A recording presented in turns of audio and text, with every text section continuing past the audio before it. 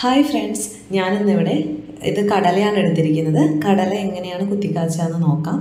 ഞങ്ങളുടെ നാട്ടിൽ കടല കുത്തിക്കാച്ചാന്നാണ് പറയുന്നത്. നിങ്ങളുടെ നാട്ടിൽ എങ്ങനെയാണ് പറയണമെന്ന് എനിക്കറിയില്ല. അപ്പോൾ അതിന് വേറെ പേരാണെന്നുണ്ടെങ്കിൽ എല്ലാവരും ഒന്ന് കമന്റ് ചെയ്തെടുക്കുക ഇപ്പോൾ ഒരു കുറച്ച് കടല എടുത്തിട്ട് അതൊന്ന് ഞാൻ ഉപ്പിട്ടിട്ട് വേവിച്ചെടുത്തിരിക്കുന്നതാണ് ഈ ഒരു പാകത്തിൽ വെന്ത് കിട്ടണം നമുക്ക്. ഇത് നമുക്കിനി എന്താ ചെയ്യാമെന്ന് നോക്കാം. അപ്പോൾ ഇതിനാവശ്യമായ സാധനങ്ങൾ കുറച്ച് കുഞ്ഞുള്ളി അതുപോലെ രണ്ട് ഉണക്കമുളക് അതുപോലെ രണ്ട് തണ്ട് വേപ്പിലയാണ് ഞാൻ എടുത്തിരിക്കുന്നത്.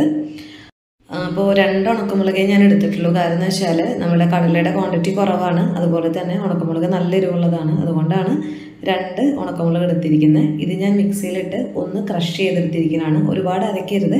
ജസ്റ്റ് ഒന്ന് ക്രഷ് ചെയ്തെടുക്കാൻ മാത്രം പാടുള്ളൂ ഇതുപോലെ. എന്നിട്ട് നമുക്ക് ഒരു ചീനച്ചട്ടി അടുപ്പത്ത് വെച്ചിട്ട് വെളിച്ചെണ്ണ ഒഴിച്ചിട്ട് അതൊന്ന് മൂത്ത് വന്നതിന് ശേഷം നമുക്ക് ക്രഷ് ചെയ്ത് വെച്ചിരിക്കുന്ന അതുപോലെ ചെറിയുള്ളി ഉണക്കമുളക് അതൊന്ന് ഇതിലിട്ടിട്ട് ഒന്ന് നന്നായിട്ട് വഴറ്റിയെടുക്കണം. നല്ല മൂത്ത് വരണം. അതുവരെ നമ്മൾ വെയിറ്റ് ചെയ്യണം. മൂത്ത് വരാൻ വേണ്ടിയിട്ട്. കരിഞ്ഞു പോകരുത് നന്നായിട്ട് മൂപ്പിച്ചെടുക്കാം.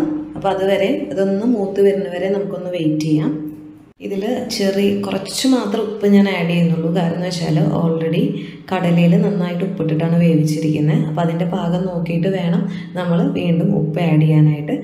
ഇതൊന്ന് മൂത്ത് വരുന്നവരെയും വെയിറ്റ് ചെയ്യാം. ഇതിൽ കുറച്ച് കറിവേപ്പിലയും കൂടി ആഡ് ചെയ്തിട്ട് നമുക്കിത് നന്നായിട്ട് വഴറ്റി കൊടുക്കാം. കാൽ സ്പൂൺ മഞ്ഞൾപ്പൊടിയും കൂടി ഇതിൽ ആഡ് ചെയ്യുന്നുണ്ട്. എന്നിട്ട് നന്നായിട്ട് വഴറ്റിയെടുക്കുക. നല്ലൊരു മുരിഞ്ഞ നല്ലൊരു സ്മെല്ല് വരണ വരെ നമ്മളിത് വഴറ്റിയെടുക്കുക. കരിഞ്ഞു കരിഞ്ഞു പോകരുത്. കരിഞ്ഞു പോയാൽ ഈ ഉണ്ടാക്കുന്ന ഈ കുത്തിക്കാച്ചിയ കടലയുടെ ടേസ്റ്റ് വളരെ ഡിഫറെന്റ് ആയിരിക്കും.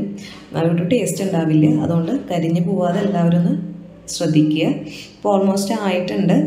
ഇനി ഇങ്ങനെ അതിപ്പോൾ ചട്ടിയിൽ ജസ്റ്റ് പിടിച്ച് വരുന്ന പോലെ നമുക്ക് തോന്നുന്നുണ്ട്. അതുപോലെ നല്ല സ്മെല്ല് വരുന്നുണ്ട്. ഇതിപ്പോൾ ഓൾമോസ്റ്റ് ആയിട്ടുണ്ട്. നമുക്കിനി കടല ഇതിലേക്ക് ഇട്ട് കൊടുക്കാം.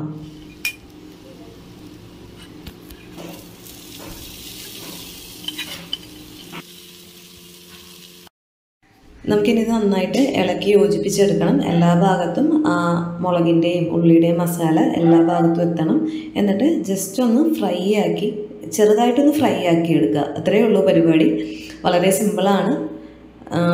ഒരു അഞ്ച് മിനിറ്റ് കൂടി നമ്മൾ നമ്മളിങ്ങനെ ഒന്ന് ഇളക്കി ഒന്ന് ഫ്രൈ ചെയ്തെടുത്താൽ മതി. രണ്ട് തണ്ട് കറിവേപ്പില കൂടി ഞാൻ ആഡ് ചെയ്യുന്നുണ്ട്. ജസ്റ്റ് ഒരു സ്മെല്ലിന് വേണ്ടിയിട്ട്. അപ്പോൾ ഇത്രയേ ഉള്ളൂ. വളരെ എളുപ്പമാണ്. എല്ലാവരും ഒന്ന് ട്രൈ ചെയ്ത് നോക്കുക ഇപ്പോൾ കാലത്ത് തന്നെ സ്കൂളിൽ പോകാൻ പിള്ളേരുള്ള വീട്ടിലൊക്കെ ആണെന്നുണ്ടെങ്കിൽ ഇങ്ങനെ ജസ്റ്റ് ഒന്ന് കടല കുത്തി കാശി കൊടുത്താൽ മതി. വളരെ ടേസ്റ്റിയാണ് അതുപോലെ തന്നെ കഞ്ഞിയുടെ കൂടെയും അതുപോലെ ചോറിന്റെ കൂടെ കഴിക്കാനും അല്ല ജസ്റ്റ് കട്ടൻ ചായയുടെ ഒപ്പം ജസ്റ്റ് കഴിക്കാനാണെങ്കിലും വളരെ ടേസ്റ്റിയാണ് നമുക്കിതൊരു പാത്രത്തിലേക്ക് നമുക്കൊന്ന് മാറ്റാം.